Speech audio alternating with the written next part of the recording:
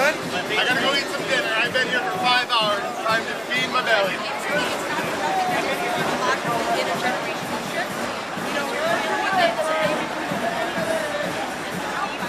Right, right.